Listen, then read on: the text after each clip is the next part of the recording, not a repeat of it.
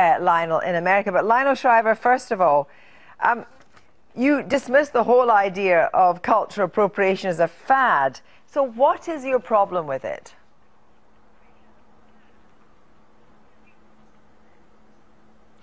Well, I'll speak particularly to uh, the issue as a fiction writer. Uh, our, my occupation is all about uh, trying to be empathetic with people very different from myself, not simply to tell my own story. Uh, that's memoir. And if you tell fiction writers that they have to only represent their own experience and not anyone else's, they don't write fiction, they write memoir. This, it's the end of my occupation. So um, I also just think the whole spirit of fiction is one of, of generosity and inquiry.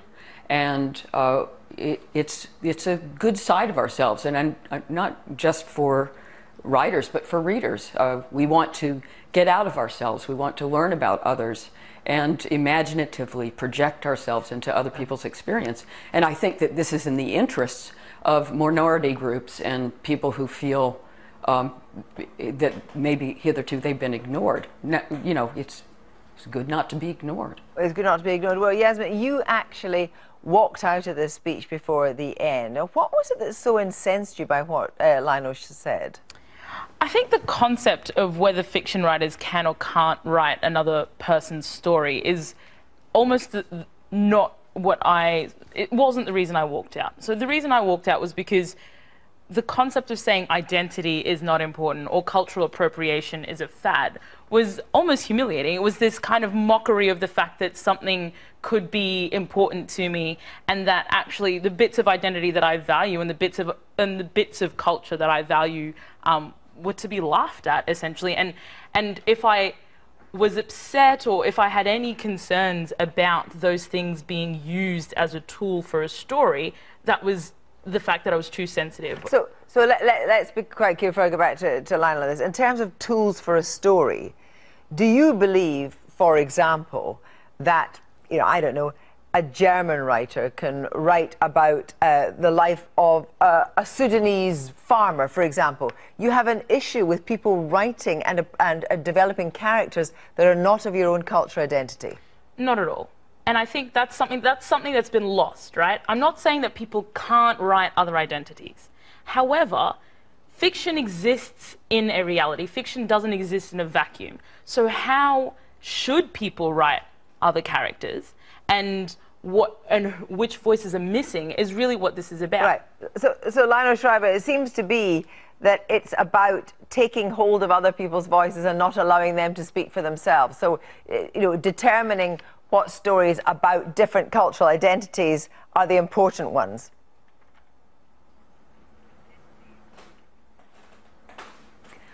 Um, there's nothing about uh, telling uh, other people's story imaginatively that keeps um, keeps people from um, the groups that you were representing in your book from also telling their own story. I mean, the more stories, the merrier, as far as I'm concerned. And um, I fear that Yasmin is misrepresenting the whole concept of uh, cultural appropriation, which is extremely restrictive, and uh, basically says that you cannot use uh, uh, uh, practices, expressions, whatever from other people's cultures for yourself without permission. And I'm not quite sure how we're supposed to get that permission either. Well, let, us talk about two things. First, it actually makes it Uh, potentially uh, offensive to go to an ethnic res restaurant.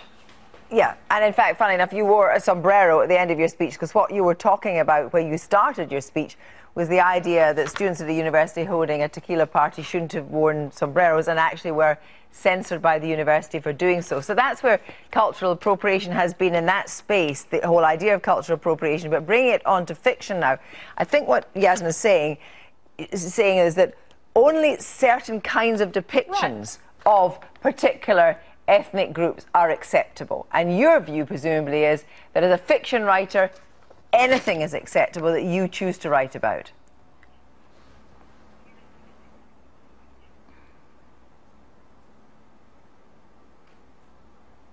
and Are you what- talking to me? Yeah, yes, I'm very sorry. That made the delay Yeah. even longer. I'm terribly Right. sorry. But see, what, I what what tends to happen? well, what tends to happen is that um, the people that get the people whose voices are heard and who have the platform tend to write similar stories about demographics. So, for example, as a young Muslim woman, for example, the types of stories that exist about me are quite often seen from the outside and exoticized and are uh, steeped in a history that I don't have much control over, right? So even though fiction writers create stories, those stories exist in a reality that then affect. But, the, but, but, the, but, but they only exist in the, in the fiction. well, no, because sometimes that's the only experience somebody has with a particular demographic. So, but when it comes to that, j- just to nail this one, when it comes to uh, Elena wearing a sombrero at the end of her, her speech, which you weren't actually, is that offensive in itself? Well, what is the intent? What is the intent? Is the intent to make mockery of something somebody else sees as important and sacred? Like, I don't think mockery is important. I don't think I don't think we should go out and want to humiliate people who say, you know what, this is important to me. Let's have rather let's have a conversation about why this is important. well, let me just put that to Lionel. I mean, were you intent on mockery when you were wearing the sombrero at the end of your speech? I was attempting to have a sense of humor. And um, I'm sorry that Yasmin took it that way. And she couldn't have been offended because she walked out in the middle of my speech and she, you know, didn't see me wear, put on a hat. It was just a bit of theatricality. It was for fun. And um, it was illustrating the last line of the speech, which was that uh, we fiction writers need to be allowed to wear many hats, including a sombrero. And I put the hat on and took the Q&A thereafter. And it, there was no element of mockery in my speech, but there was a certain amount of playfulness because when you take this concept uh, too far, it became, gets to be absurd. I mean, there was a yoga teacher in Canada who was shamed out of uh, teaching her yoga class because, oh, it comes from India. And she, she um, tried to rename the class Mindful Stretching. Well, and I, you. you know, I find this stuff funny. Uh, you Well, know, me- I'm afraid, I'm afraid, Am I I'm trying to I'm afraid we can't do any more mindful stretching out because we're It's just not- about it's to finish the that level. program. I don't take it that seriously. Thank you both very much indeed. That's all we have time for tonight. We leave you with Josh Gibson, who we hear is alive and well, but who claims online that he was almost killed in a car accident in Orem, Utah. Utah. He apparently put photographs of the aftermath on Facebook, whereupon he says he was subjected to the company's penchant for auto-creating jaunty video slideshows. From all of us, good night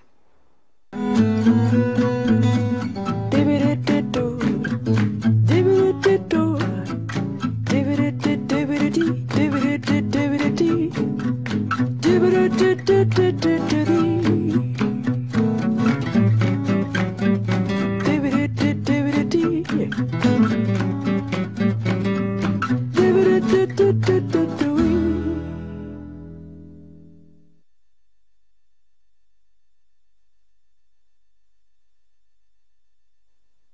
Good evening. What a day. September the 13th will be remembered